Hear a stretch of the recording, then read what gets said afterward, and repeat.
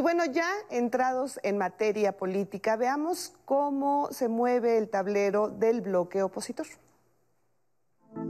El dirigente nacional del PRI, Alejandro Moreno, afirmó que a diferencia de Morena, en la coalición del PRI, PAN y PRD, respetarán los tiempos que marca la ley electoral, por lo que el próximo lunes darán a conocer públicamente el método para designar a quién será su candidato o candidata presidencial para 2024. Nosotros estamos construyendo una propuesta para el 2024.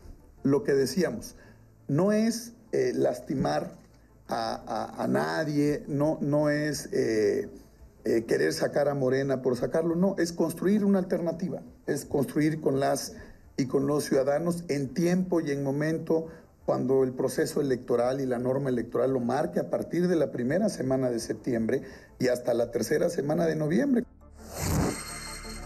En tanto, el periodista Enrique de la Madrid dijo en sus redes sociales que se debe fortalecer a México y salir de la polarización actual.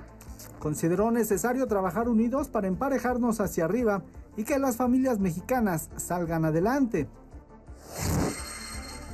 La senadora de Acción Nacional Lili Telles aseguró que no tiene plan B, por lo que si la alianza Va por México no la elige como candidata de la oposición a la presidencia, apoyará a quien sea él o la abanderada. Dijo que ella está concentrada en echar a Morena de Palacio Nacional y cerrará filas con quien pueda realizar esta tarea. El ex gobernador de Michoacán, Silvano Aureoles, y aspirante presidencial del PRD, propuso a la oposición utilizar un método combinado para seleccionar al abanderado rumbo a 2024. Consiste en cinco debates regionales y una votación en urnas financiada por los partidos opositores y organizaciones de la sociedad civil.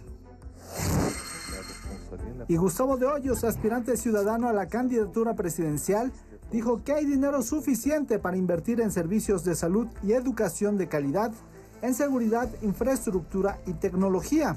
Solamente, precisó, es necesario que los recursos públicos se administren bien.